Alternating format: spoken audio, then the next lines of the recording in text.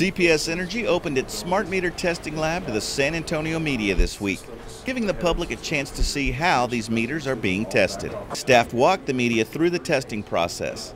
CPS Energy randomly tests 10% of each meter shipment. If even one meter fails, the entire shipment is returned to the manufacturer. So far, CPS Energy has not recorded a single failure.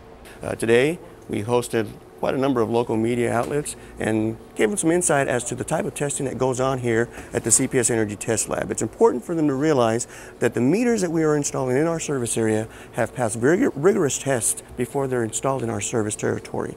These tests include connectivity to the mesh network as well as data security, service reliability, and read accuracy tests. With electric and gas smart meter deployment beginning on the 18th of August, CPS Energy is fully confident that these new smart meters will perform as advertised.